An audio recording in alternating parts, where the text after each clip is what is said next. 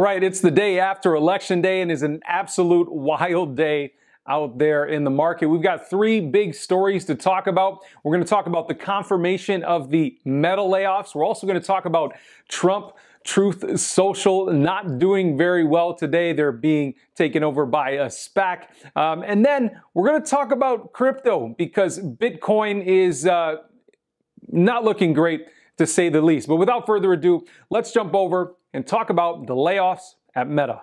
In a letter to investors, Mark Zuckerberg announced that Meta will be laying off around 13% of its staff or around 11,000 employees. So this is a big deal for Meta. They're cutting costs like crazy. This is something that the Wall Street Journal actually leaked this past weekend. So on Monday, Meta Platforms uh, actually performed pretty well. But let's jump over to the charts and see how Meta is doing today. You can see right there, Meta Platforms trading under the ticker symbol META is up almost 6% on the day. But year to date, guys, this stock is still down over 70%. So let me know how you feel about this news. Are you are you excited? I know uh, uh, some of you are. One of you commented saying you're, you're, excited that Facebook is laying off their woke employees. But again, uh, as I said before, if you don't have a soul, let me know down in the comments if you're excited about people being laid off, especially 11,000 high-paid people. And, and uh, maybe you like this idea.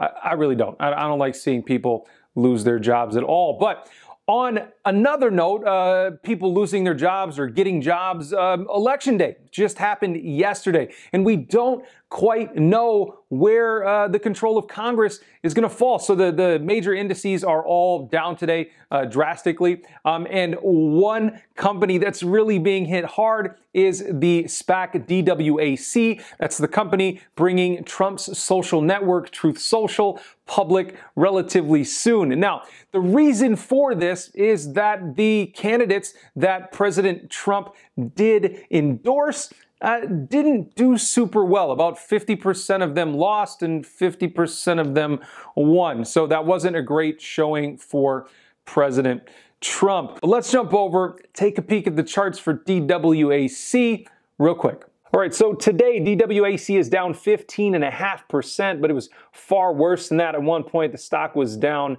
I believe, over 20%. Year to date, though, uh, pretty similar to a lot of the stocks out there, down almost 46%. So let me know how you're feeling about, about this company. Are you invested in DWAC? Are you someone who's been buying ever since they announced that they'll be taking Truth as Social public? Let me know how you're feeling. Are you buying this dip? I don't know. I want to hear from you down in the comments. Guys, finally, I want to talk about cryptocurrency because it's crazy, right? Right, right now, Bitcoin is trading below $17,000. That hasn't happened for almost exactly two years. Uh, almost exactly two years today, actually. Um, and this is because FTX announced that they are being purchased uh, by Binance. All of their non US operations is being purchased by Binance. Now, Binance was a big investor in FTX, uh, but at one point, they were raising money at a valuation of $36 billion, and a lot of their capital is tied up in their FT, FTX token.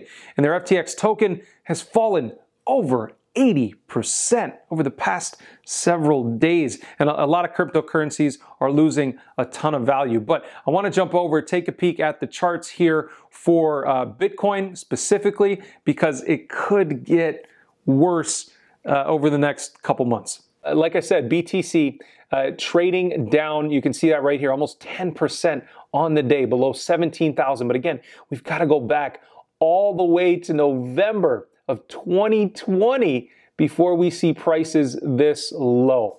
Now, pretty much every four years, Bitcoin falls. So if you've been holding BTC all year, uh, it probably wasn't a good time to hold. Uh, but if you've been buying, it may be a fantastic time to purchase BTC right now. But there could be more pain ahead. There probably will be more pain ahead. Now, uh, Bitcoin goes on these trends. Usually every four years, we'll see a big fall in Bitcoin, usually around 80%. Now, based on my calculations and Bitcoin getting almost up to 70,000 or right around 69,000, 80% from there is under 14,000 per Bitcoin. So we could see Bitcoin fall much further over the next several months before having a fantastic run again back up to probably plus 100,000 over the next several years. So guys, let me know what you're doing. Let me know how you're feeling. I want to hear from you. Thank you so much for joining me for another video. And as always, I'll see you in the next one.